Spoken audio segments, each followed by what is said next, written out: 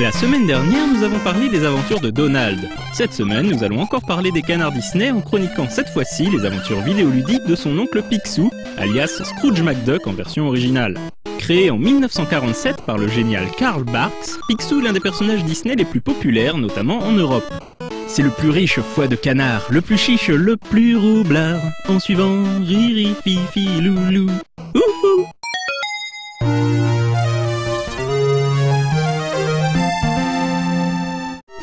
Disney lance en 1987 la série télé DuckTales, connue chez nous sous le nom La Bande à Picsou. Bien qu'assez différente des comics dessinés par Barks, la série va obtenir un très grand succès, culminant avec la réalisation en 1990 d'un long métrage, Le Trésor de la Lampe perdue.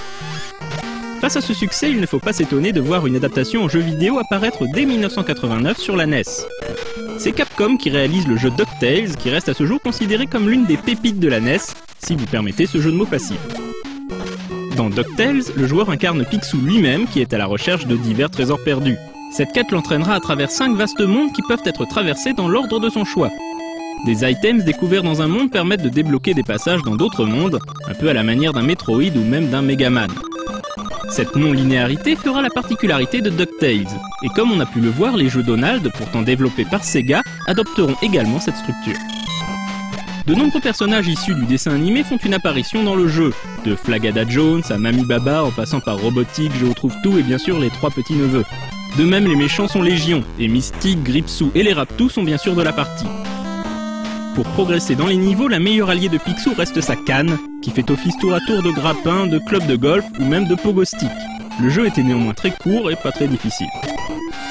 Capcom réalisera également une version Game Boy très soignée qui rencontrera elle aussi un grand succès.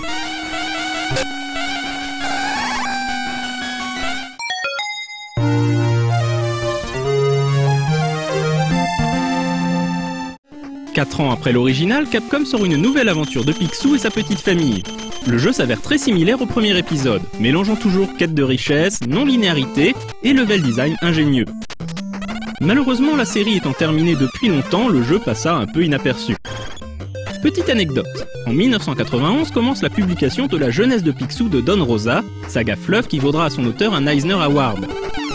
La jeunesse de Picsou révèle que le nom du père de Picsou était Fergus McDuck. DuckTales 2 y fait référence puisque tout commence lorsque les neveux découvrent un fragment de carte ayant appartenu à Fergus. Y avait-il un fan de Don Rosa chez Capcom? En tout cas, cet effort de continuité fait plaisir à voir. Nous avons dit que la version NES du jeu n'avait pas rencontré beaucoup de succès, mais en revanche la version Game Boy, une fois de plus très réussie, sera quant à elle un best-seller sur cette machine.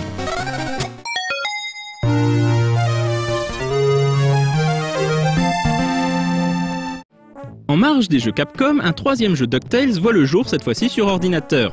Développé par Sierra, The Quest for Gold est en fait un jeu à épreuve. Gripsou a mis Picsou au défi de rassembler plus de trésors que lui. Le joueur doit choisir un lieu sur la carte et réussir une épreuve afin d'obtenir le trésor. Un compteur s'égrène à chaque tentative. Si le joueur a plus de trésors que Gripsou lorsque le temps est écoulé, le joueur a gagné.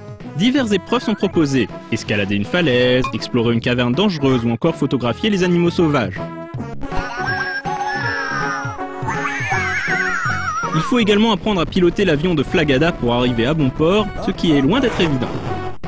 Heureusement, entre deux missions, le joueur peut se relaxer dans un bon bain de pièces d'or.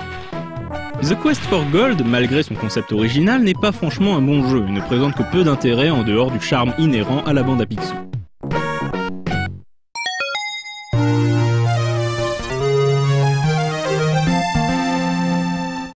La série télé DuckTales engendrera une série spin-off, dans laquelle on retrouve quelques personnages, notamment Flagada Jones. Cette série, parodie affectueuse de Batman version canard, c'est bien sûr Darkwing Duck, alias Mr. Mask chez nous. Le héros de la série est Albert Colvert, Drake Mallard en version originale, qui à la nuit tombée devient Mr. Mask, la terreur qui corrige les erreurs, défendant la ville de Saint-Canard contre toutes sortes de super vilains.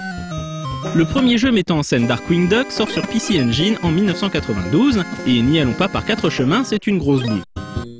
Le jeu se présente comme un beat'em all à la maniabilité douteuse, au gameplay bancal et au graphisme pauvre qui ne font pas honneur à la machine de NEC. Bref, cette version craint un max.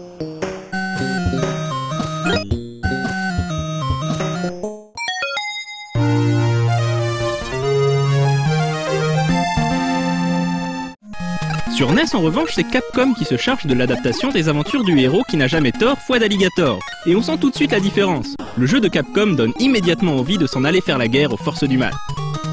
Une fois de plus, le choix est donné entre plusieurs niveaux dès le départ, chacun correspondant au plan diabolique d'un vilain pour détruire ou rançonner cinq canards. Seul Mister Mask peut sauver la ville à l'aide de divers gadgets. Le jeu suit une structure encore une fois calquée sur celle de Mega Man et utilise d'ailleurs le même moteur que Mega Man 5. Inutile de dire que les similitudes entre les deux jeux sont nombreuses. Plus orienté action que les DuckTales, Darkwing Duck est un excellent jeu qui fut parmi les derniers grands titres sortis sur NES, la 8 bits de Nintendo laissant inexorablement sa place à la Super Nintendo dans les foyers des Nintendo Nintendophiles du monde entier. Comme DuckTales, une belle version Game Boy fut également réalisée par Capcom.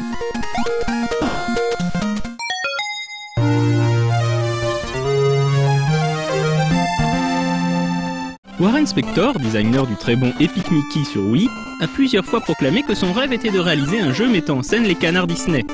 Après la célèbre souris, Picsou, Donald et tout le clan Duck mériteraient bien de revenir en force sur le devant de la scène. Bah oui, parce qu'on ne veut plus claquer du bec chez nous.